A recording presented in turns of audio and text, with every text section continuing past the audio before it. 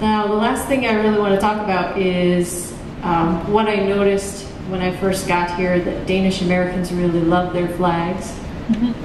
we have Bruce Bro, he's the director of development, and he was on top of Mount Kilimanjaro with the flag. And then, of course, there's Main Street with the pairs of flags. And I thought that it was just Elkhorn. But when I went through the collection, I started seeing Danish flags popping up everywhere on all kinds of materials pillow covers, doilies, table runners, tablecloths. And I was in the Civil Air Patrol Color Guard, and we do not do this kind of thing with the American flag. At least you're not supposed to embroider it on any kind of materials. You have to be careful about how you wear it. So I was discussing this with Julie, and she's going to come up and talk about how the Danish flag is used in Denmark today and how it's very different from how we use the American flag. So, Thank you. Um, as Brittany said, when um, the we use the flag everywhere. So when she asked me to talk about how we use the flag on which occasions, I thought it was a really weird question because we use it on the obvious occasions. And so I said that I, or I thought that I didn't have much to say, but then she pulled up some examples on how we use them, where you don't use them. Um, and discussing that a bit, I want to show you some of the, for me, really obvious occasions where you have to use the Danish flag. Um, and the pictures are my private pictures, so you, you will see some of my family members when they are partying and things. for example, for birthdays. um, it's my dad. Um, this February when he when he had birthday. Um, and then there's the, the cake up here. Um, it's a tradition in our family that my grandparents they always come with this kind of cake for birthdays, and you can see the small flags on it. Oops. And then there's my sister here making cake, birth, another birthday cake with the small flags on.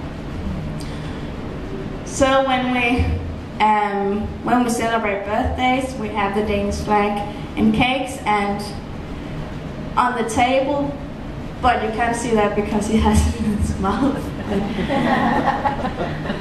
and then the anniversaries and graduations. Um, when my parents celebrated their 25th anniversary, they had a big cake, kransekage. Um, and it was my mom's birthday too on the same day. She turned 50, so she, they had a little cake made for her. And when somebody graduated, like my sister here, um, they, we usually give them a rose and a flag. And then there are flags everywhere. And um, this is taken in her apartment, where they were hanging flags um, all over the apartment. And at the school, there are flags, and you run around with flags like she did. It. Apparently, it's some family thing, fighting in the flag. um, and then for Christmas, when we decorate the Christmas tree, then we also use the Danish flag.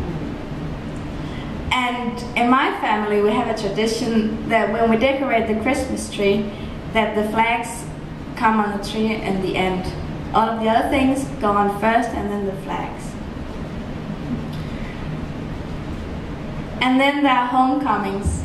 Like when I came back from Germany, when I had lived there, um, my family was standing on this uh, train station with flags.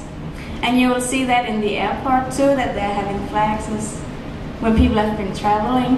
And it wouldn't surprise me that when I get back from here and in the airport, that friends and family, they will meet up with flags and stuff like that. And when the royalties, when they get, when they receive guests in the airport, there are flags too. Um, and then there are all these things where we have flags on um, the napkins, and again in the cake, and on the tablecloth, and on the candlelight. And this is a tablecloth that my mom she uses whenever there's a anniversary or birthday or a wedding even. Then then she put these tablecloths on, and there are small flags on the lines here. And there's the little flag and the one in the background. um, so yeah, we use it in a lot of places, and I hadn't thought about it until Brittany asked me why we, we do that. And the example she came up with that I haven't even thought about is that we also that we use the flag as a marker um, in the calendar for when somebody has birthday. Um, and I thought that was pretty obvious to put a flag when it's somebody's birthday. And then I looked at our calendar and I thought, oh yeah, you you don't have any flags on the calendar either. So it's a Danish thing. It's a Dane thing. Oh yeah, and Memorial Day. Um, there aren't any flags there. We we don't have Memorial Day.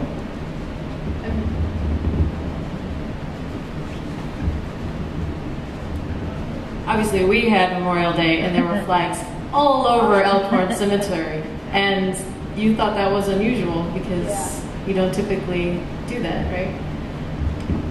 Yeah, I, I don't know the official explanation for not having uh, flags on the graveyards of soldiers uh, who have died, but just on the top of my head, I think that people would think it was too patriotic. It was too. It's an it's a big issue and debate right now in Denmark, being a war nation and all that, and yeah, it would. I think it would be too patriotic. But on the same hand, it sounds weird thinking about it now because we have it on the tablecloth, we burn candlelights, and we're not afraid of standing on a train station and we with, with flags. So, yeah, I don't know. I think it's a part of that whole war nation issue that is very, yeah, it's very interesting. Well, thanks, Julie. I, uh, I really appreciated that insight. Um, it's very nice to live with somebody from another culture, and we have all these little culture bumps against each other. So,